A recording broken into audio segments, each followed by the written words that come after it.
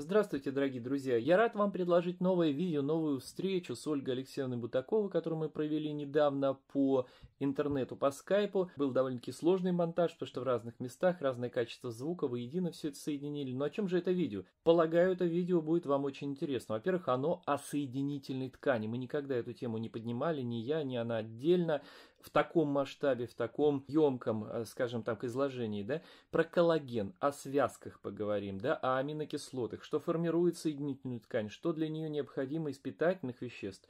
Вы также узнаете, в каких продуктах что содержится. я дал очень интересные сведения, данные, кстати, не только слушайте, а читайте, там будут и ссылки, там будут, главное, показаны и таблицы, а также в каких продуктах содержатся те или иные аминокислоты, по некоторым, по крайней мере, да, подробно я информацию туда, некоторые думают, что, ну, нет лизина того же практически в растительных продуктах или мало, так вот я привожу примеры где и даже показываю, насколько больше, чем в так называемых продуктах животного происхождения, того же лизина больше в некоторых растительных продуктах. Так, вы узнаете о вариантах пополнения организма нужными питательными веществами, о многом другом. Мы и о кетодиете тут поговорили кратко, и поговорили о лектинах, и так далее, и так далее. То есть, полагаю, вы не разочаруетесь, смотрите. Приятного вам просмотра.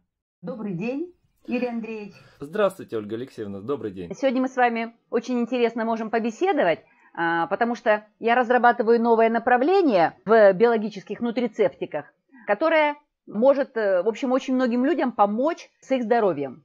И я сейчас расскажу вот эту вот идею, что, так сказать, чем я сейчас занимаюсь. И потом мне очень интересно будет выслушать, во-первых, ваше мнение по, по поводу этой идеи. И, может быть, мы даже сделаем какой-то такой вот проект по оздоровлению, ну, такой более серьезный, потому что теоретические данные настолько, ну, скажем, убедительны и интересны, что вот прям хочется с ними поделиться. Согласны на такой сценарий? Да, Ольга Алексеевна, давайте согласен. Очень интересно с вами работать, потому что то, что знаете вы, я не знаю.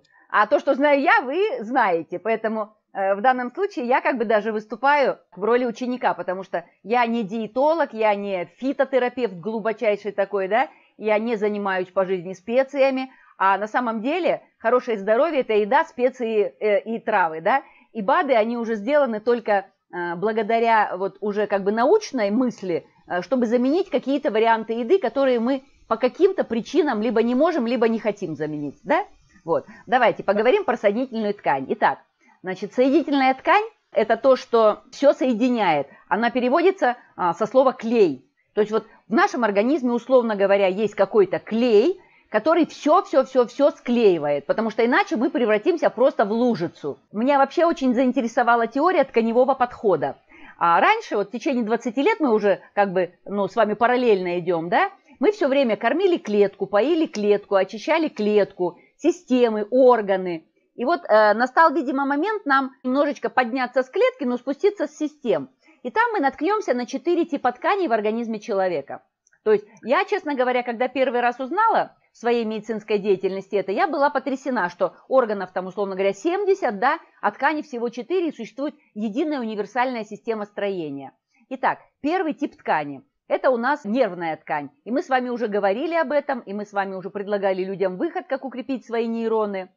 А, и еще будем об этом говорить когда-нибудь. Второй вид ткани – это эпителиальная, то есть это защитно-выделительная такая ткань, которая покрывает слизистые. И тоже мы уже много раз говорили, как почистить, как улучшить отхаркивание, там, выделение и так далее. Третий тип ткани – это мышечная. Это, собственно, вот структура организма человека, где копятся основные, а, основная энергия в митохондриях, да, потому что когда человек становится пожилой, мышечная ткань практически уничтожается, да, и вот за счет этого человек не может никак энергию накопить, да. Но и оказалось, что самая главная ткань – это все-таки соединительная ткань. Вот этот вот клей, и для меня это было, в общем, большим открытием, причем – вот не с первых дней работы, например, в медицине, а уже приблизительно, наверное, через 10 лет, вот, э, может даже через 15. Существует такой белок, который называется коллаген. И этот белок, а, по сути дела, является как бы арматурой кожи, разных слоев кожи, связок и еще многих-многих а, различных структурных элементов. Вот функции коллагена отвечают за упругость ткани. Вот когда мы трогаем руку у ребенка там или какую-то часть, и ножки упругие, да, вот если мы бабушку потрогаем, вот этой упругости уже не будет. Эластичность, за рост новых клеток, за структурность и соединение. за дряблость, за обвисание. Ну, и не секрет ни для кого, что люди стали жить дольше. Вопрос качества жизни, да? Вот я, например, э, э, на седьмом десятке, ну, совершенно не хочу стареть. Меня эта перспектива старости вообще не устраивает. И поэтому вот я еще, так сказать, с корыстной целью начала изучать глубоко прямо эту соединительную ткань, э, именно для того, чтобы задержать какие-то темпы, снизить хотя бы эти темпы естественного старения. Самое главное, что коллагены существуют в нескольких видах. Это вот жидкое состояние коллагена, кровь. Я, честно говоря, не знала, что это коллаген. А, лимфа, межклеточная спинномозговая жидкость и все э, тканевые, межтканевые жидкости. Да? Волокнистая. Волокнистая – это сухожилия, фасции, связки, сумки, различные поддерживающие связки. То есть у нас все куда-то прикреплено. И в кишечнике, и в желудочно-кишечном тракте, и органы малого таза на каких-то связочках к чему-то крепятся. Вот это все соединительная ткань. Желеобразная. Это вообще удивительный вид ткани. Я думаю, что мы когда-нибудь отдельно о нем поговорим, потому что выращивание хрящей – это, по сути дела, возможная реальная, э, так сказать, история. А у нас к старости уже у всех, по-моему, хрящи-то становятся такими сточенными, да? Ну и, конечно, твердые – это кости. И тоже здесь нас подстерегают различные проблемы. Вот остеопороз, да, когда решетка кости, фрамуга вот эта вот, становится совершенно слабенькая. И, кстати, для меня было очень большим открытием, что Бабушки, когда ломают шейку бедра, они, оказывается, сначала ломают, а потом падают. Вот, потому что я думала, что они падают и при падении ломают. Вот это меня совершенно потрясло. Оказывается, она сначала ломается, и потом человек падает. И э, а, провести весь остаток жизни, условно говоря, в памперсах на кровати э, с несросшимся тазобедренным суставом, это, в общем, перспектива очень плохая. Поэтому нам надо раньше начинать. Смотрим, что же такое соединительная ткань. Я познакомилась с профессором Алексеевым. И он меня, э, он мне провел консультацию такую очень длительную, потому что, честно говоря, э, врачей этому не обучают. Вот я не помню, чтобы нас в институте обучали функциям, там, строению соединительной ткани, да. И вот, э, во всяком случае, те, кто занимаются, говорят, что старение можно остановить именно за счет старения вот этого коллагена. Наше тело на 85% состоит из соединительной ткани. Но не считая воды, мы как бы убираем сухой остаток, да? Вот есть вода, которая там 60-70%, а есть ткани. Так вот, из ткани 85% это соединительная ткань. И она поддерживает, соединяет, значит, входит в стенки капилляров, соединяет ткани между собой. И у нее очень-очень много функций. И посмотрите, как она интересно устроена. Она состоит из белков. И, кстати, самая большая проблема, как, ну, как вообще мы все знаем, да, это не углеводы, потому что углеводы мы можем получить. Самая большая проблема человечества, где он вообще возьмет белки. Если мы, допустим, выходим на духовный уровень развития и как бы декларируем для себя, что, ну, нежелательно нам убивать вот все то, что мы убиваем, да, если мы хотим быть грамотными, цивилизованными, там, духовными людьми, конечно, мы должны снизить потребление животных белков. Вот второй момент. Э, когда мы снижаем, чем их заменить, вот это самая главная проблема, да? Итак, посмотрите, как она хитро устроена. Значит, внизу э, э косичка, а потом эта косичка соединяется там 8-10 жгутиков, а потом эти жгутики соединяются просто в кабели, такие вот с оплеткой. Причем эти кабели мощные, структурные, они находятся во всех органах. Строма органа поддерживается. То есть это совершенно замечательная история. Вот если бы я это знала, ну, может быть, там 40 лет назад, когда я начинала работать врачом, я вот клянусь, я бы всю жизнь посадила, посвятила соединительной ткани, потому что на самом деле ее надо с детства. Вот ребенок растет, а ему уже не хватает. Подросток пошел в рост, а ему уже не хватает. То есть за счет этого образуются и сколиозы, ну и разные другие заболевания. Структура соединительной ткани. Посмотрите, как она э, усиливается э, по мере синтеза. Вот маленький пучочек, побольше, побольше пучочек, еще побольше, мощный пучок и уже конечное волокно. То есть вот когда я смотрю на электрические кабели, там высокого напряжения, там абсолютно точно такая же структура. Вот, э, поэтому вот об этом надо знать и об этом надо помнить. И самое главное, что нам нужно сырье для того, чтобы четкий вот этот синтез – кстати, на который идет очень много энергии. И вот симптомы недостаточности соединительной ткани. Ну, возьмем коллаген, но там еще есть эластин, там еще есть э, другие как бы кератины различные, там много белков, которые э, находятся в соединительной ткани. Это потому что и волосы, и все, да? Так вот, какие мы можем симптомы заметить, да? Ломкость сосудов. А ломкость сосудов – это инфаркт, инсульт, да? Появление морщин – это старость. Э, обвисание кожи – это старость и дряблость, и это немощь. неприятные ощущения в суставах, то есть нарушение синтеза соединительной ткани и хрящей, ослабление костной ткани, то есть это переломы в любом возрасте, независимо, так сказать, от нашего состояния. Зубы, пародонт, периодонт, связки все зубов, которые крепят. То есть к 40 годам человек практически уже лишается естественного состояния зубов. А, выпадение волос, нарушение зрения, то есть колоссальное-колоссальное количество симптомов. Это вот просто самые такие, а существуют еще десятки мелких симптомов. И вот типы коллагена, вот это самое интересное. Оказывается, у нас около 20 типов коллагена, 25 а некоторые ученые даже до 30 насчитывают. Первый тип, второй тип, третий тип, четвертый тип, да? То есть и все коллагены устроены по-разному. То есть у нас в организме существует программа синтеза 25 видов коллагена. То есть хрусталик это тоже коллаген, а там среды глаза это тоже коллаген, а, значит связки глаза, капсулы, различные поддерживающие элементы это тоже все коллаген, просто разного типа. Так вот, самое главное, к чему мы переходим, условия для синтеза коллагена, то есть строительные материалы. Первое – это белки, конечном счете аминокислоты. Второе – это ГАГ – гликозаминогликаны, хондроитины, гиалуроновые кислоты и так далее. Третье – это витамины, их немало, С, А, Е, К, Д. То есть вот без этого синтез вообще не идет. И микроэлементы – кальций, фосфор, магний, цинк, сера, кремний, марганец и медь. Причем, что самое интересное, Юрий Андреевич, это все одновременно. Вот это вот вводит меня прямо в какой-то ступор – Потому что, ну вот все есть, а нету витамина С, например. Или все есть, но солнца нету, зимы нету, там солнце, там зима, нету витамина D. Или, например, просто не хватает кремния, марганца и меди, да?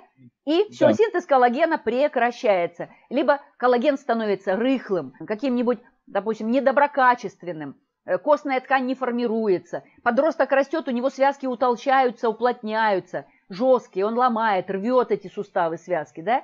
Поэтому вот, вот эти вот условия, они на самом деле непростые, вот вообще непростые. То есть я не для одного из как бы э, заболеваний не знаю вот этих условий, чтобы так много нужно было, причем одновременно, да? И вот э, какие аминокислоты, вот об этом мы поговорим с вами подробнее. Смотрите, вот в чистом виде э, коллаген это две аминокислоты, такой самый простой коллаген базовый, пролин и лизин.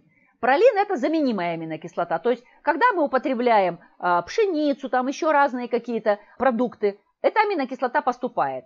Но как только мы ее обработали термически, вот, кстати, у сыроедов огромное преимущество, потому что, ну, естественно, они термически ничего не обрабатывают, и поэтому в любом случае они получают нативную форму. Но ведь у нас сыроедов, кстати, сколько у нас процентов сыроедов, Юрий Андреевич? Ну, полагаю, в России не более полупроцента, а где-то процентов 6 вегетарианцев и веганов точно уже есть. Да, да, да. Ну, то есть сыроеды немножечко отстают, несмотря на ваши титанические усилия, да?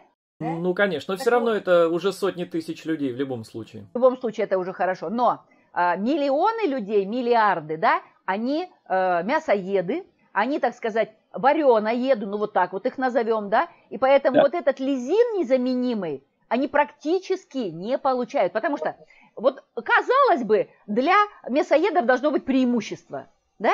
Я сейчас покажу, в каких продуктах лизин содержится в чистом виде, да, я из общего. Но это преимущество они теряют полностью на пути приготовления продукции. Из-за денатурации белков. Из-за денатурации белков при 65 градусах. Дальше. Глицин. Заменимая, но, скажем так, э, мы можем ее откуда-то получить. А вот э, метионин – это одна из самых главных аминокислот, незаменимая. То есть получается, что лизин и метионин – это проблема, я вообще считаю, человечества, всего человечества. И тот, кто первый решит эту задачу, откуда нам взять в натуральную, в нативном виде лизин и пролин, тот может решить проблему старости. Ну и честно говоря, Юрий Андреевич, я подозреваю, что это будете вы. Ну, я могу уже сказать, все новое, хорошо забытое старое. Если вы помните, на Руси всегда была одна основная экспортная единица на запад пенька, да? А, из чего делали, да, то есть, собственно, конопля. И вот мы забыли, что сейчас уже есть такой уникальный продукт, который в Древней Руси, собственно, было два уникальных продукта. Хлеб тот же не из пшеницы делали в старые времена, а из амаранта. И вот как раз тот самый амарант и та самая конопля в себе содержит все незаменимые аминокислоты, все 8, причем того же триптофана, аргинина, например, тоже незаменимых аминокислот, они содержат до 3-5 раз больше, чем тот же горох, бобовый и так далее. Поэтому самый уникальный продукт и будущее человечества на самом деле заключается в его прошлом. Это конопля и амарант. Вот там содержится все. Потрясающе. Ну, это, наверное, не та конопля, которая, допустим, содержит, ну, как бы веселительный. Есть же и другая конопля, кормовая, наверное, какая-нибудь, да? Я вам более того скажу, что это сделали искусственно, эту, э, скажем, наркотическую коноплю. Она всегда на Руси была обычный нормальный был пищевой продукт. То есть техническая конопля и сейчас официально выращивается и продается. Вот мы, например, поставляем, продаем, производим даже уже очищенную зерна конопли, то есть без плевел. И более того, есть, например, протеин конопляный, который содержит ну, во-первых, все 8 из 8 незаменимых аминокислот в таком количестве, что они содержатся, если на сухой остаток воду выпарить, например, говяжью печень, так вот там больше аминокислот всех незаменимых, чем той же, например, говяжьей печени. Вот так. -то. Удивили. Сильно удивили. Вот да. всем занималась, амарант Но... знаю, коноплей никогда не занималась, и как бы э, слово конопля, оно было, ну, как-то вот вообще, знаете, персона нон грата, да? И поэтому да. у меня даже мысли не было такого слова этого произносить. И, соответственно, я, у меня информации этой нету. Я благодарю вас. Вот я уже первый покупатель у вас этих конопляных семечек. Дальше. Витамин С, витамин А, витамин Е, витамин В и фолиевая кислота. Значит, тоже состав нехилый, я вам скажу, да? Но как бы с витамином С проще, ну, B6 и B9 это как бы, ну, ну, проблемная зона немножечко. Могу сказать сразу, что, например, тот же суперпродукт, такой как спирулина, к примеру, содержит всю группу B от B1 до B17 лайтрила, противоракового витамина очень сильного. То есть вообще все. Ну, будем считать, кроме B12, хотя тут тоже теоретически есть данные, что дикая спирулина, в отличие от лабораторно полученной, все-таки содержит тот самый B12, ну, даже если без него, в любом случае B6, B9 фолиевая есть есть однозначно и в больших количествах. Потом, сок проростка пшеницы, конечно же, тоже содержит и B6, и B9. Вообще практически любая зелень. Э, сныть, крапива, дикоросы содержат помимо, кстати, тоже всех незаменимых аминокислот, в том числе и витамины В6, В9. Так что здесь проблем нет никаких для веганов и сыроедов тем более. Да, по витамину D с вами поговорим, потому что спирулина витамин D точно не содержит. Итак, дальше. Суставы. Давайте конкретно перейдем к каким-то, ну, таким осязаемым частям, которые нужны всем, гибкие до конца жизни, потому что чем старик вот отличается от молодого человека? Ну, гибкостью суставов, да? Как он присядет, как он встает, как он двигается, все это, да? И когда у меня заболел палец, я поняла, я очень долго микрофон держу холодный, 20 лет практически, да? И когда я сделала рентген, у меня палец вышел немножечко в одном из суставов из-за... Вот руки акушера бывают, да? Ну, я не акушер, у меня, слава богу, не правая рука, но левая, потому что у меня микрофон все время в левой руке.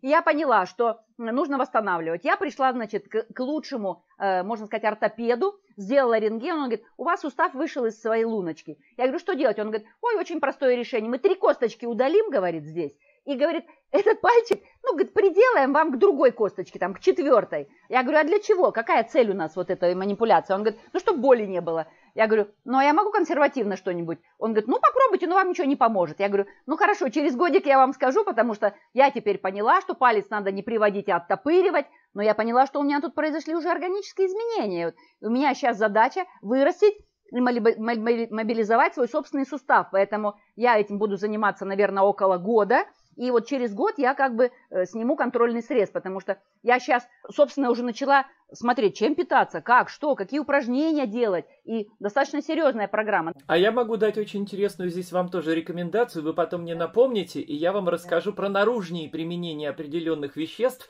которые позволяют даже регенерировать суставную ткань и жидкость. Вот, замечательно. Итак, смотрите, для мышц и э, значит, связок и соединительной ткани нужны 7 аминокислот для роста мышц, 7 минералов и 6 витаминов. И плюс 5 аминокислот для соединительной ткани и 2 э, аминокислоты для костей. То есть, то есть нам практически все незаменимые, плюс часть заменимых. Я сейчас не буду вдаваться в подробности, нам сейчас как бы хотя бы тему целиком понять. Поэтому все, кто хотят суставы, мышцы, хрящи, обязаны думать о том, где они завтра будут брать конкретно 7 незаменимых и кое-какие заменимые, не считая этих минералов и витаминов. Итак, белок – это наше все. Ферменты, гормоны, антитела, ДНК, РНК, Мы его получаем из продуктов животного и растительного происхождения. И белковые цепочки строятся из последовательно соединенных аминокислот. Но когда мы их съедаем, они должны расщепиться до, опять до отдельных аминокислот. Поэтому нам логически лучше брать усвояемые растительные белки, которые э, достаточно проще расщепляются, чем те же животные, и от них меньше э, сухого остатка, ненужного нам. И посмотрите, вот лизин. Значит, я э, собрала с интернета, ну как бы, э, не учитывая пока вегетарианство и веганство, там, где ученые дают высокое содержание лизина. И вот мы получаем постная говядина, ягненок, стейк, вот пармезан, индейка, свинина, соевые продукты, слава богу, тунец, лосось, пикша, треска, креветки, тыквенные семечки, слава богу, белая фасоль, чечевица и яйцо. То есть, но никто не говорит, что все это должно быть в сыром виде. Вы понимаете, какая история? То есть, везде полуправда, везде что-то не договаривают. Человек кушает мясо, хоть полкило в день будет кушать, и он ничего не получит. Именно. Именно, поэтому те продукты, которые человек в малых количествах, но все-таки в живом виде, в сыром потребляет, в виде салатов, а во многих зелени, во многой зелени есть много аминокислот и лизина в том числе. Так вот, человеку, кто ест в живом, в сыром виде, не нужно такого большого количества аминокислот, в том числе лизина, как тем, кто ест вареную, жареную, денатурированную, мертвую пищу. Ну вот, давайте посоветуйте еще раз вот так телеграфно, э, а я потом впишу сюда, какие продукты нам надо употреблять, чтобы получить лизин, прям конкретно. Ну, во-первых, действительно бобовые, причем я советую это действительно либо э, чечевицу, либо маш, нут или горох либо варить, либо проращивать до седьмого дня прорастания, чтобы в них содержащиеся вредные белки, лектины, а растительные белки есть тоже вредные. Кстати, насчет лектинов я могу потом чуть подробнее рассказать. Они, кстати, провоцируют воспаление, в том числе воспаление суставов. И вот это основные ошибки сыроедов и веганов, которые это не учитывают. А знаете, где больше всего лектинов? Это посленовые. Ну, да, но мы про ну, это можем... Помидоры, да, помидоры, перец, Конечно, баклажаны, да? физалис и самое известное это белодон, от которой смерть сразу наступает, это тоже к посленам относится. Но лектины в томатах, помидорах, перцах, да, они тоже вредны. И это человеку, конечно, есть не нужно. Также и злаки, но не все они содержат а, лектины. Пицца, да? да, вот да, вот, например, знаете, какие не содержат? Опять-таки тут по какому-то стечению обстоятельств свыше, может быть. В общем, суть в том, что в сорго и в пшене, в древних русских злаках, да, пшено да. и сорго, вообще лектинов нет. И вот это-то как, как раз есть можно, и более того, там лизина много, достаточно. А помимо этого, амарант, конопля, э, сорго, разные бобовые, лизина много где еще есть. То есть человек, который потребляет более-менее разнообразную растительную пищу, к тому же зелень разную тоже, получит достаточное количество лизина. Угу, понятно. Вот это сорга, вот никогда не ела сорга, сорга. значит, и никогда не ела конопли, вот просто никогда не ела. То есть я прямо, я прямо радостна, потому что я изучила тему лектины, причем очень глубоко. Я на эту тему вышла, знаете, каким образом? Так. Я вышла на нее через аутоиммунные заболевания. Сейчас Правильно. у нас просто эпидемия, да. ревматоидный артрит, а, аутоиммунный тиреоидит, рассеянный склероз. Это просто ну, какая-то невероятная просто, невероятный всплеск, потому что, ну, если раньше рассеянный склероз ко мне могли обратиться, ну, так, это было очень редко, то сейчас прямо партия людей рассеянного склероза и аутоиммунного тиреидита и ревматоида. Вот, Ольга Алексеевна, посмотрите, книга Стивена э, Гандри, это такой известный не просто кардиохирург США, и трансплантолог, э, ну, уникальный человек, который создал много даже методов по улучшению трансплантологии, причем детской, самой сложной, в книгу Гиннесса занесен, неважно, чем специалист с мировым именем профессор. Так вот он подробно в этой книге рассказывает про лектины. Я когда-нибудь сделаю отдельное видео, проанализирую, но он во многом прав. Он во многом прав, причем убирая лектины из пищи, проблемы практически, вот те, которые все-таки присутствуют, в том числе у веганов-сыроедов, потому что все люди могут делать ошибки и делают по незнанию там и так далее. Так вот, убирая лектиносодержащие продукты из пищи, решаются практически все проблемы, если только не будет дефицитных состояний в каких-то минералах, витаминах, а это очень легко проверяется, сдаются анализы и контролируется, соответственно, рацион питания, он просто немножко меняется, и проблемы можно все решить. А вот действительно лектины это что? Это бобовые, это злаки и, конечно же, это посленовые. Поэтому посленовые надо убрать все. Там больше всего лектинов, и это недопустимо на самом деле. Зла... помидоры едим просто немерено. В том-то и дело, а к сожалению и в кожуре, и в косточках помидор содержится гигантское количество лектинов. Для наших зрителей скажу, что самый известный из лектинов это белок глютен. Это все знают. Но да. глютен это один из сотен лектинов, их сотни. И вот лектины вызывают правильно и воспаление, и потому в том числе аутоиммунные заболевания, а по суставам это номер один проблема. И если бы этого не было, как наши, помните, в старые времена наши предки сопротивлялись и картошке Петром Первым привозимым, и даже при Николае Первом, мало кто это знает, были бунты картофельные, это в 1800... Да, правильно делали. В 1840-х, 50-х годах. А старобрядцы настоящие еще в начале прошлого века чуть ли не проклинали детей своих за то, что они выращивают картошку, но, видимо, на каком-то генном подсознательном уровне они понимали, что это не русская, не наша пища. А вот репа, брюква, турнепс, любые вот эти корнеплоды, топинамбур, они прекрасны и полезны. И это наша пища, и капуста разных видов, и квашеная, и прочее, и ягоды лесные. Это прекрасно. Кстати, лексин еще есть, вот мы про лизин, в том числе и в грибах, в различных, и белых грибах, и вешенках. Кстати, в грибе белом, например, рекордное количество D3, причем того самого витамина D3, который нам как раз нужен как конечный продукт. Но мы тоже варим грибы-то. К сожалению, поэтому дело в том, что раньше, вот вспомните, и груздии, и, допустим, рыжики сырыми ели. Сыроежки, они просто называются сыроежки, потому что их ели сырыми, на самом деле люди забыли. А во Франции, например, до сих пор или в Австрии делают те же самые салаты с шампиньонами сырыми. А, пожалуйста, шитаки сырыми едят и в Азии. А, скажем, допустим, вешенки, прекраснейший, ценнейший продукт, особенно желтые королевские, их тоже едят сырыми. Это просто люди все привыкли варить и жарить, а в природе этого нет. Это мы так э, изменили природу и поэтому получили огромное количество болезней, которых нет в природе, когда тот или иной вид животного есть свой видовой тип питания имеет, да, и ест то, что от природы ему положено, как виду. Вы знаете, у меня тут недавно история такая случилась. Э, мне э, на передержку дали, ну, попросили взять кошечку э, лысую, серенькую, такая, ну, красавица, ну, невероятная просто красавица, донской сфинкс. Но у меня кошек последние 20 лет не было, поэтому я как-то так немножечко растерялась, но тем не менее кошка умная, пятилетняя, ласковая такая. И я решила, значит, ее передержать. Но уже так влюбилась в нее, что я уже даже ее отдавать не собираюсь. Но тут возникла другая проблема. Кошка привередливая. Что-то ест, что-то не ест и так далее, и так далее. И я начала изучать корма кошачьи. Вот у меня вообще не было даже задачи в жизни их изучать. Значит, и, э, значит, один корм дала не ест, второй корм дала не ест, третий дала ест, выбрала корм для лысых ест. И когда я изучила состав, чем один отличается от другого, боже мой, я чуть от зависти не умерла к кошке. У меня теперь весь, э, весь этот холодильник забит кошачьей едой разных так наименований. Э, Юрий Андреевич, там есть все. Там есть все. И В1, и фолиевая кислота, и В6, и В9. Там есть растительная клетчатка, там есть белки, там есть аминокислоты в чистом виде. В общем, там около, наверное, 50 ингредиентов в некоторых кормах в зависимости от цены. И я сижу и думаю, боже, а почему для людей корм не сделают?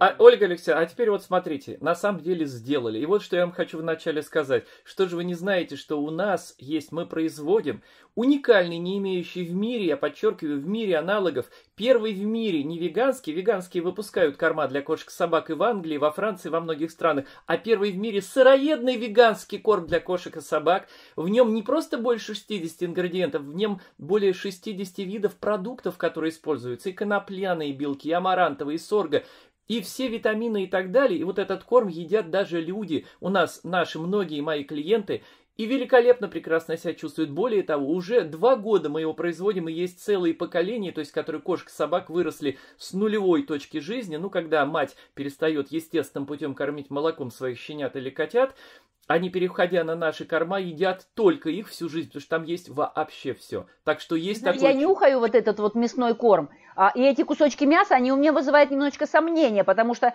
она соус-то съедает, а они потом становятся как камушки. Я понимаю, что это не настоящее мясо, а что-то вообще какая-то такая фигня. Конечно. Ну, ну откуда в промышленности в, в гигантских объемах будут еще и для животных, если для людей не хватает, по сути, мяса, в, так сказать, еще класть им? Это идут субпродукты, кишки в лучшем случае, а то и различные костные перемолотые ингредиенты и э, продукты отхода и рыбной и прочей промышленности. То есть это то, что уже совсем людям дать ну никак нельзя. Поэтому вот я и говорю, мы давно озадачились этой проблемой, мы создали такой корм, после которого, перейдя через неделю, две, три, у, у кошек и собак проходят многие болезни, которые не могли вылечить ветеринары только изменением питания, вот таким образом. Сбросьте мне ссылочку, я прям покупатель, пробуем пробовать, потому что Э, я теперь как бы ответственна за эту кошку, а я человек очень ответственный. И понимая, что я ей ничего кроме этого не даю, потому что ветеринары не советуют, да, и я начинаю волноваться, а все ли у нее будет. Однажды, э, когда умер знаменитый кот Беляш, да, у миллионера, который с разными глазами, а он ведь умер, потому что в кошачьи корма забыли добавить таурин аминокислоту, да, э, как бы, и кошки теряли зрение, умирали от кардиомиопатии. И этот да. миллионер заплатил миллион долларов, этого беляша разобрали по молекулам молодого кота, да, и выяснили, что добавили таурин, но, скажем так, извинились э, это, эти самые кормопроизводители, но у нас люди таурин никогда не кушают. Вот еще вопрос. Конечно. Давайте с вами как-нибудь сделаем по аминокислотам, потому что это Давайте. очень интересно будет. Давайте. Итак, Лизин, что я предлагаю? То есть я, вот в данном случае, вот, например, я живу в Нижнем Новгороде, я прям вот реально не знаю, где мне взять, кроме вас, э, ну хорошо, я вас знаю, да, я вам напишу, вы мне пришлете, да, но где взять в Нижнем Новгороде, например, семена этой конопли, я, я абсолютно не знаю, и скорее всего, что их нету нигде. Ну, Поэтому нас... это, это уже высший пилотаж такой вот сыроедения продвинутый, но что могут сделать люди, у которых нет или пока нет этого, так сказать, конопляной истории, да? Они могут взять просто у нас в клубе противити. Вот обратите внимание, тут 7 незаменимых аминокислот полностью. И э, лизин, изолицин, фенилаланин, и аргинин, и, э, и триптофан, и трианин, и э, значит, все-все-все, что нужно для синтеза ферментов, гормонов, белков и в том числе соединительной ткани. Это можно детям, можно взрослым, можно подросткам. Обязательно нужно пожилым людям, потому что здесь матрица белая. То есть это не спирулина и не хлорелла. И мы не загущаем кровь. То есть здесь абсолютно растительная формула L, содержащих фор аминокислот. И поэтому противите проводили эксперименты. Добровольцам а, брали растворы, вводили внутримышечно, изотопные, помечали изотопами, и дальше их сажали на велоэргометр. И через 20 минут у волонтеров уже в, э, в мышцах, э, при пункции мышц находили вот эти вот аминокислоты радиоизотопные. То есть, если кто-то решил укрепить мышцы, похудеть, прокачаться, э, значит, дать подростку, причем восстановить гормональный уровень, то вот на первое время противите очень даже хорошо пойдет, ведь потому что, Юрий Андреевич, сыроедению надо обучаться. Потому что э, если люди не стоят в вашей школе, не читают ваши записи, как бы э, все остальное как-то вот такой детский лепет там вот на лужайке, да, они сразу же столкнутся с самыми главными проблемами, как говорите. Они попадут на лектины, они сделают дефицит жирных кислот, да. они э, объединят себя незаменимыми аминокислотами, они получат всю паразитарку по полной, потому что все это надо мыть соответствующим образом, обрабатывать, да, то есть, и, а дальше они уже на своем горбу, на своем, так сказать, на своих ошибках, граблях, они начинают выходить на правильное сыроедение, да, поэтому я всегда говорю, обучайтесь, вот обучайтесь, есть люди, которые знают об этом все, поэтому, э, но я как бы, я ни, ни за что не буду обучать диетологии, потому что для этого надо иметь знания еще раз что больше, чем у меня, потому что продуктов 350, да, а, и ну, сочетание продуктов, приготовление. Это невероятно сложная история. Те диетологи, которые у нас есть, это просто смех. Это просто смех по вареной еде, что-то там шаманят, калории а какие-то считают. Это как бы, ну, а, абсолютно не соответствует никаким действительностям, да? Ольга Алексеевна, да, Поэтому... я, я, вы знаете, я, извините, я даже больше того скажу, я вот про Тивити знаю давно, хорошо, это действительно один из тех продуктов, которые я рекомендую из кораллового клуба, потому что действительно, и более того, и веганам, и сыроедам, как дополнительный источник аминокислот, если они в своем рационе их получают недостаточно, я тоже рекомендую, это очень хороший вариант. Более того, его можно вполне комбинировать и с тем же конопляным протеином, просто конечно, потребляя конопляный протеин, тогда меньше экономия на нем. Э, можно потреблять это и, с, э, те, и тем людям, кто ест большое количество таких, например, зеленых листьев, например, шпината, в которых тоже есть практически все незаменимые аминокислоты. Это, то есть это прекрасная добавка, действительно, я только за. Кстати, когда мы белки получаем из зелени, там все-таки матрица гемоглобина содержится – и э, врачи иногда пожилым людям, которые варфарин принимают, там, а, кардиоаспирин там, и так далее, они им вообще запрещают, даже два перышка лука нельзя съесть. Ну, то есть, вот им всю, вся зелень запрещена. И Люди очень нервничают. То есть э, им говоришь, что вот это можно, вот это можно. Они говорят, нет, мне врач сказал, ни одного листочка, ничего, ни петрушки, ни укропа, ничего. И вот с этими людьми тоже как-то надо находить контакт, потому что гемоглобин зашкаливает, воды нету, э, все это сгущается, кровь тромбируется, да. Так вот противите для них это вот, вот хороший выход. Витамин С. Вот. С витамином С, э, я думаю, что у веганов у всех все в порядке, потому что... Полно. Полно, полно, да. Но да. тут вопрос усвояемости, да?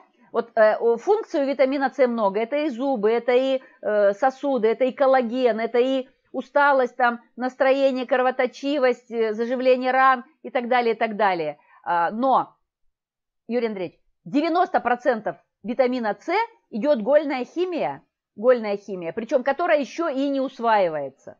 Конечно. Которая содержит еще и э, как бы достаточно высокий уровень скажем так, вот этих химических молекул, которые не проходят ни в клетку, никуда. И ученые, естественно, а, на эту тему начали думать. Значит, посмотрите, в каких продуктах а, заявлен витамин С, да? И здесь мы видим, ну, практически нет ни мяса, ничего. Здесь полностью сыроедческая или э, веганская, вон, семена кориандра, гвоздика, манго, шафран, там, ананасы, там, красная капуста, папайя, крест салаты, брокколи, киви и так далее. С витамином С все в порядке, но коралловый клуб пошел чуть-чуть по другому пути. Он пошел по липосомальным формам. Что такое липосомальные формы? То есть представьте себе, что молекула витамина, она ведь очень активная, она агрессивная, она раздражающая, если, допустим, ну вот, например, я обожаю жимолость, да, там огромное количество витамина С. Я очень люблю, э, значит, э, кислые ягоды, всякие разные, да, и э, однажды я объелась жимолости, ну, наверное, полстакана съела, и я сразу почувствовала. То есть у меня желудок заболел. А оказывается, я не знала, что жимолость надо, ну как-то там. Что, кстати, жимолостью делать? Нет, ну жимолость, там есть очень много различных фитонцидов и специфических веществ, летучих и эфиров и так далее. Поэтому его много есть просто так не нужно. А вот если вначале какая-то пища жирная, например, тот же авокад, салат, салат да, или кокосовое масло, которое, кстати, я очень рекомендую рассасывать по чайной ложечке хотя бы раза 4 в день. Так вот, вот после еды вполне можно принимать и принимать э, в том числе жимолость и клюкву и бруснику кислые вот эти ягоды, которые содержат в том числе органические кислоты, и тогда раздражать так кишечник они не будут. И как это происходит, если до еды, либо вместо еды основной это принимать? Вот, абсолютно точно, Юрий. Ученые пошли по этому же типу. Что они сделали? Они взяли молекулу витамина С и заключили ее в подсолнечниковые фосфолипиды. Yes. То есть мембрана стенки жирная, витамин С находится внутри, липосомальная стенка жирная, и липосомальная стенка, сливаясь с мембраной клеточки, усваивает. То есть и витамин С детям можно, взрослым, пожилым, всем можно. То есть он абсолютно становится, во-первых, усвояемый, а во-вторых, безопасный.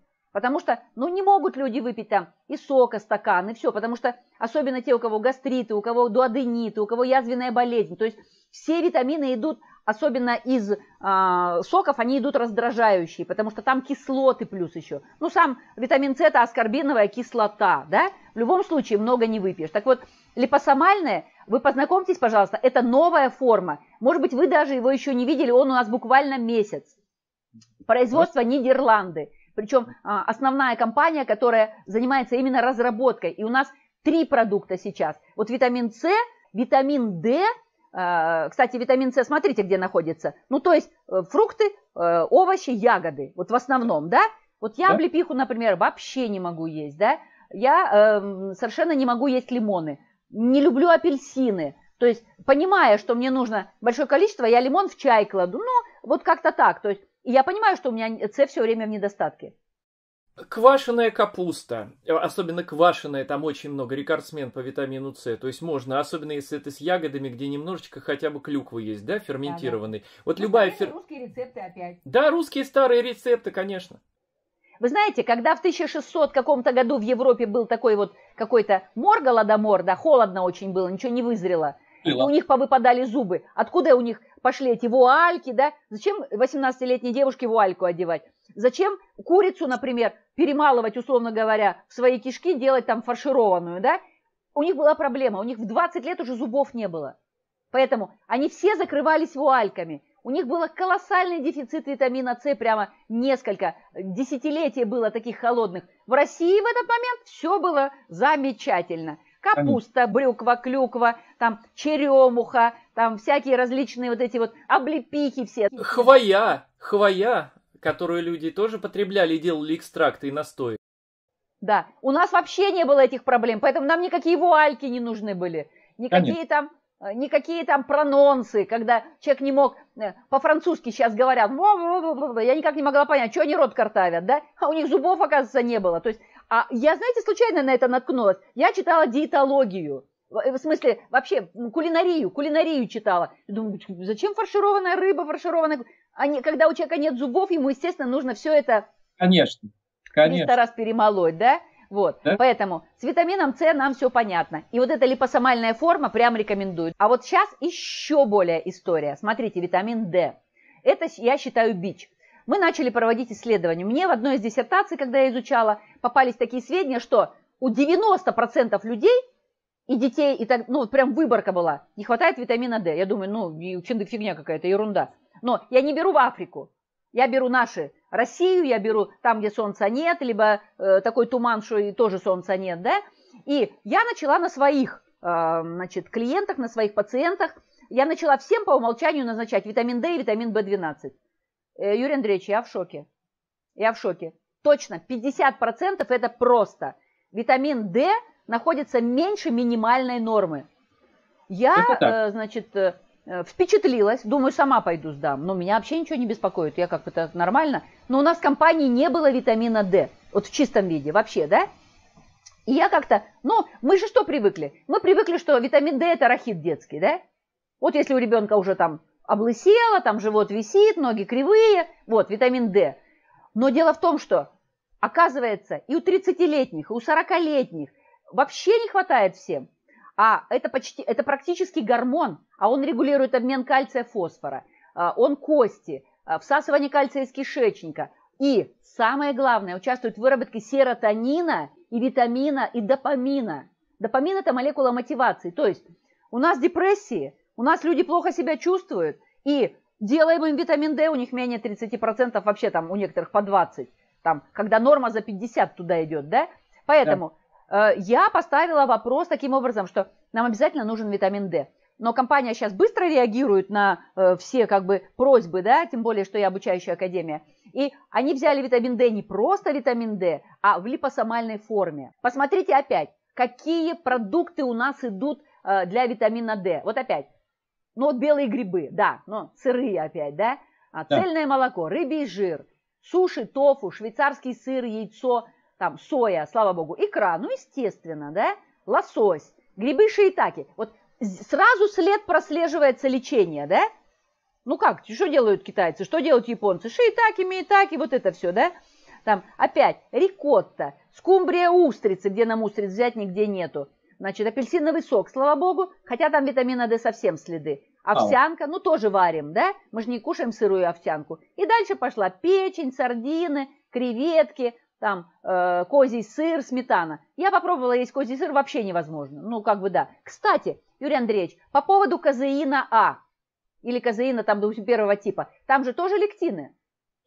Безусловно, но там другая проблема. Казеин, молочный белок, любой, коз, коров, неважно, чтобы его полностью разобрать в кишечнике и чтобы в виде аминокислот все сосалось в кровь, это, кстати, кровь жидкая, да, соединительная ткань, все правильно. Так вот, что необходимо? Необходим такой фермент специфический, который называется ренин. Он вообще не вырабатывается в желудках э, детей, человеческих детенышей, а он только вырабатывается в желудках козлят и телят. Не путать с ренином, э, гормоном надпочечников. Поэтому, да, поэтому, значит, это вообще не человеческая пища. Надо человеку молоко прекращать тогда пить, когда его мать естественным путем прекращает его кормить. Таковы законы природы. Мать ему передает это, да? Безусловно. По...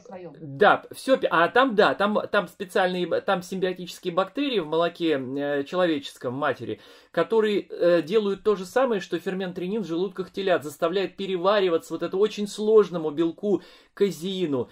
Э, и вот тогда проблем нет. То есть, когда человек не извращает законы природы, которым э, бесчисленное количество лет, когда все виды млекопитающих животных, кроме человека, в естественной природе, кормят, как и положено, природой или богом, богами, кто как хочет, да, отведено всему свое время – есть понятие онтогенеза индивидуального развития организма, и на этом этапе он называется молочный да, этап.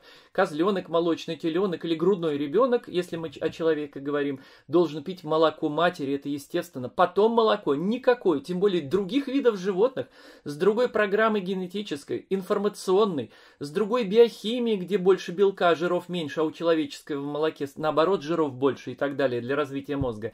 Так вот, это уже нельзя, и поэтому, извращая законы природы, мы всегда получим болезни рано или поздно.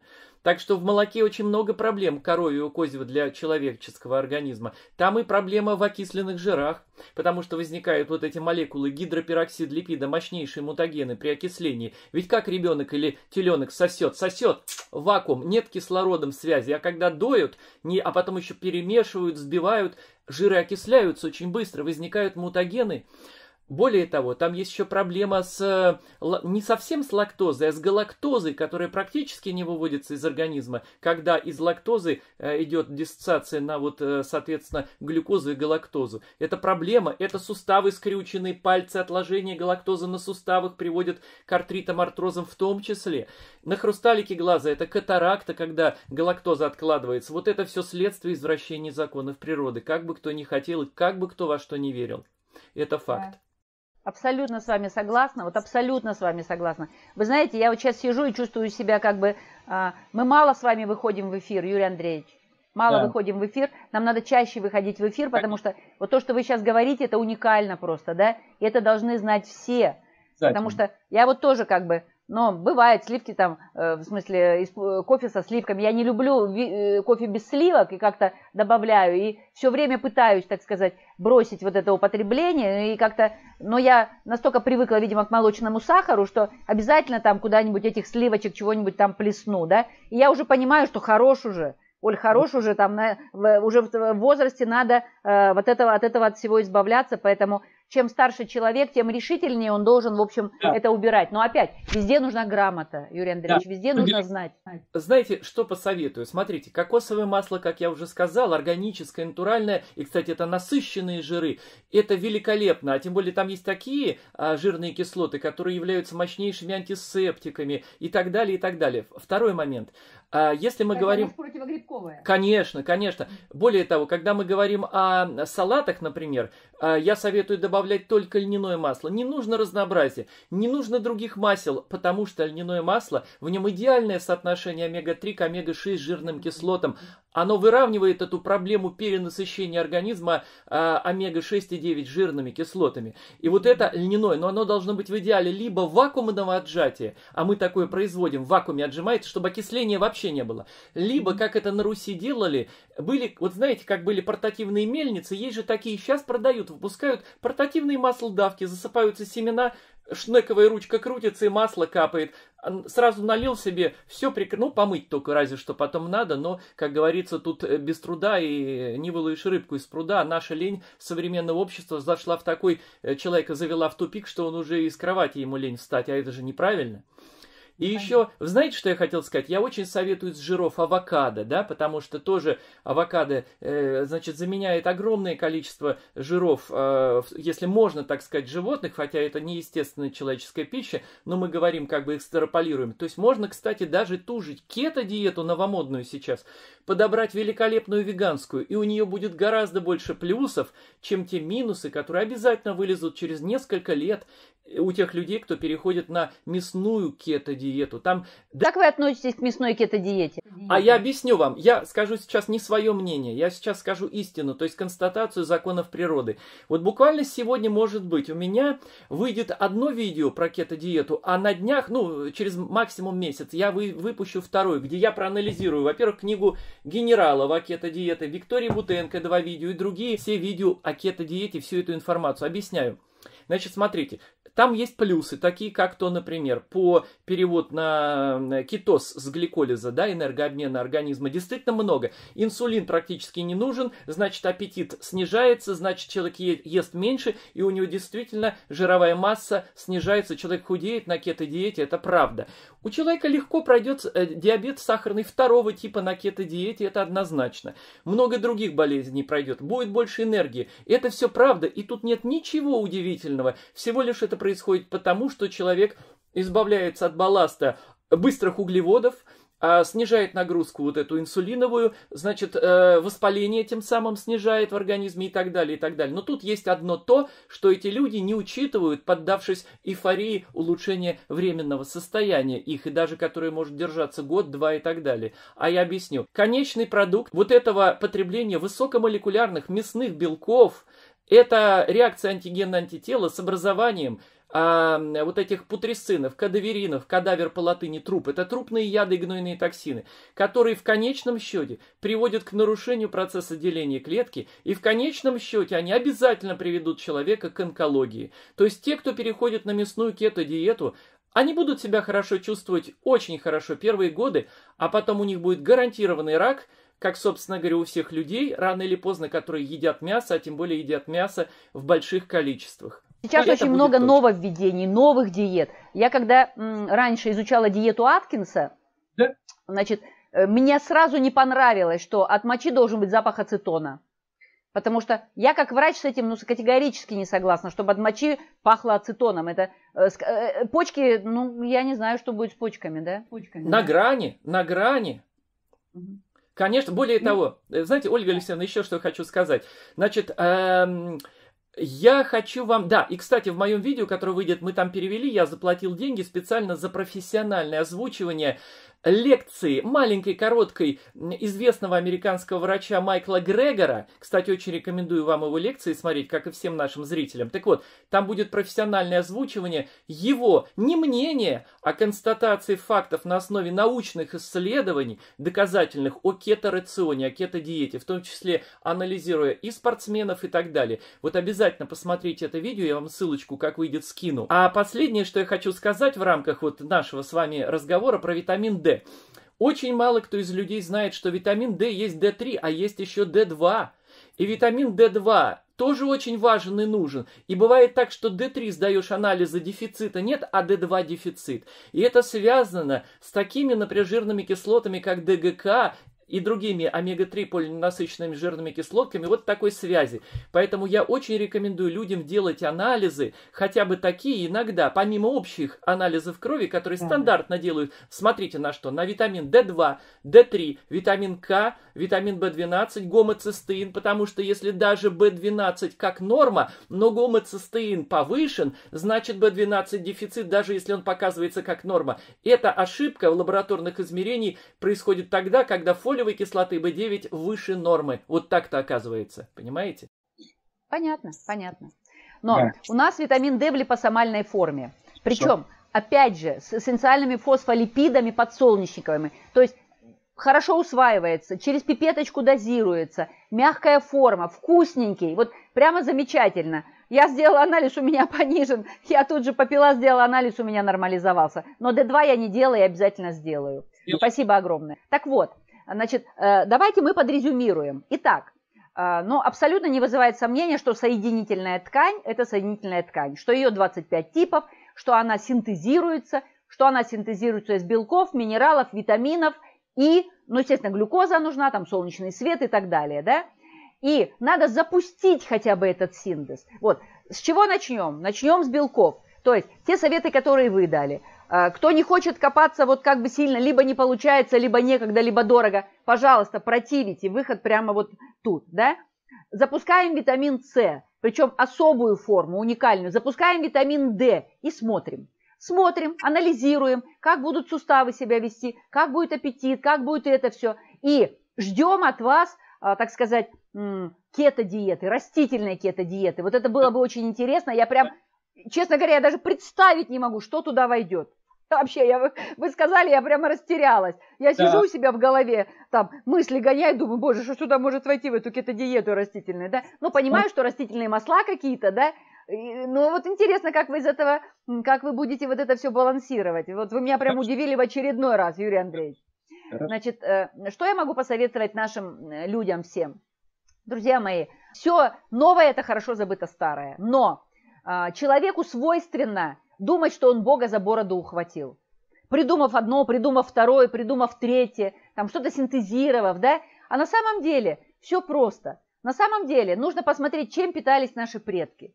Хотя бы для разнообразия э, поставить себе это дома на стол. Ну, кому сложно льняное семя, кому сложно льняное масло, кому сложно, я не знаю, тот же амарант купить сейчас, слава богу, продается во всех местах, да, кому сложно какие-то другие вещества, какие мы советовали. То есть это не сложно на самом деле, просто нужно сделать какие-то усилия, да. Мы с Юрием Андреевичем, а, во-первых, я получила огромное удовольствие от разговора с вами, да, потому что сейчас буду как-то свои, свои познания в этом деле как-то разворачивать, да, потому что я э, иду массовым путем. Вот человеку просто пойти взять противите.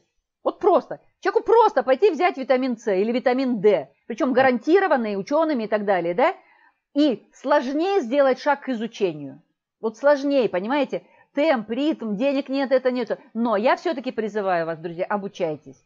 Конечно. Обучайтесь, смотрите, потому что э, мы э, работаем специально для вас. Э, медицина наша немножечко разрушается. У нас сейчас появляются очень серьезные стандарты, и врачи, им просто вяжут руки по рукам, по ногам, то есть э, они не смогут оказать вам вот, ну, такой помощи, которую вы от них ждете. Потом, поэтому спасение, что называется, себя, это дело своих рук. Вот никогда не опускайте руки. И включайте мозги, пожалуйста. Вот, соединительная ткань, ее надо знать, ее надо понимать, ее надо любить, изучать. И надо создать ей условия. То есть организм готов вас до 100 лет обновлять. Но за счет чего? Ресурсы нужны, нужны сырье, нужно сырье. Поэтому мы с Юрием Андреевичем только приоткрыли маленькую щелочку, которую можно просунуться, да, чтобы понять э, глубинные. Вот у нас на Руси всегда было так, одним махом по бивахам. Вот знаете, мне это нравилось, если честно, да.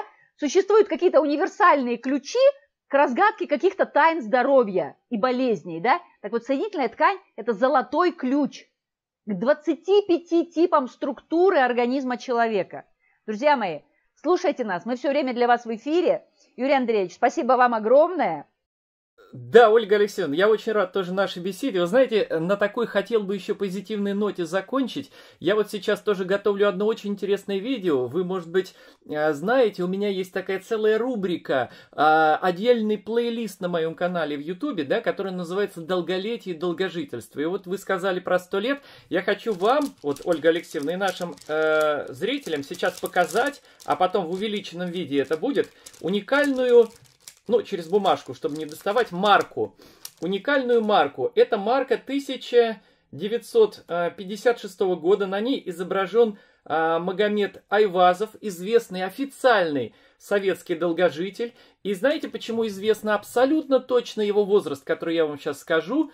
И на марке, в двух вариантах, э, почтовых марках он был издан. А дело в том, некоторые скажут, ну вот паспорта не были или выдавали, потом могли что угодно написать. Но это все глупость. Дело в том, что этот человек известен абсолютно точно, когда э, он родился, потому что он был основателем аула. То есть в этой деревне потом родились все, кто был там, жил, и понятно, все его знали с самого детства, даже самые старые старики. Так вот, вот марка была сделана, когда ему было 148 лет. Вот так. Японии сейчас недавно совершенно коралловый клуб вывез лидеров, топ-лидеров, э, которые э, оздоравливают огромные массы людей, ну, миллионы людей в мире, да, вывез в Японию, в сердце Японии остров Окинава. Э, я была, конечно, потрясена. Там живут 16 тысяч человек, переживших 110-летний рубеж. В Японии и так 50 тысяч долгожителей скопилось, да? Простые люди, простые люди, никаких фитнес-залов, ничего такого нету, живут на своих участках, доброжелательные, копаются, там выращивают цветы, радуются жизни, в 90 лет их в хор берут, они начинают петь. А? И а, мы с вами когда-нибудь можем поговорить о японской диете, Юрий Андреевич. Вот прямо да. мечтаю. Я буду да. говорить, что они либо едят, либо не едят, а вы будете аналоги какие-то наши русские, потому что, ну, не сможем мы их диету полностью повторить. Более того, а нам и не надо, у нас есть свои аналоги. И, кстати, когда вот при Сталине в 1948 году была перепись населения, и э, долгожители изучали очень активно, например, в Белоруссии самая старая бабушка в этот период была, ей было 136 лет. В Абхазии в этом году был Мансыр Киут, которому тогда исполнилось 144 года. Так что это все... 146, извините, лет, точно, потому что он второго года рождения, представляете? То есть после... Э, Пушкин родился, а он через три года после Пушкина еще в 1948 году жил. Поэтому это было, это реально, у нас есть свои аналоги. А про японцев, когда мы с вами будем говорить, я еще покажу нашим зрителям очень интересную книгу, как японцы оценивали, для них тогда это было дикостью, голландцев, европейцев, которые тогда в 19 веке приплывали в Японию, знаете, они про что говорили? Они говорили, какие-то они ненормальные, они едят трупы животных и пьют белую кровь. Белую кровь, имея в виду молоко, потому что никогда в Японии это не пили, и потому у них не было диабета первого типа аутоиммунного заболевания, потому у них не было многих других болезней, которые сейчас, с середины прошлого века, пошли массово и в Японии, когда японцы изменили свой образ жизни и питание в массе своей. И только лишь правильно вы говорите, на Окинаве и где-то в других частичках Японии сохранили уклад жизни, и более того, там вот эти последние живут долгожители, вернее долгодоживатели, а новые поколения, к сожалению, уже да. из-за этой глобализации проклятой начинают есть и вести себя точно так же, как европейцы, получая те же самые болезни белого человека. Да, да. Спасибо вам огромное за полученное удовольствие, Юрий Андреевич. А, я да. надеюсь, что вы быстро разместите это все, и чтобы да. наши слушатели могли это все узнать. Пожалуйста, а, друзья мои, желаем вам здоровья, ума и жажды образования. То есть быть здоровым несложно, надо только понять, как это сделать. И мы себе могилу копаем ложкой и вилкой. И, и еще СВЧ-печка сверху стоит, и кастрюля на ней. Вот. Вот этим мы себе могилу копаем. Поэтому обучайтесь, смотрите. До новых встреч. Всего хорошего, Спасибо, дорогие друзья. До свидания.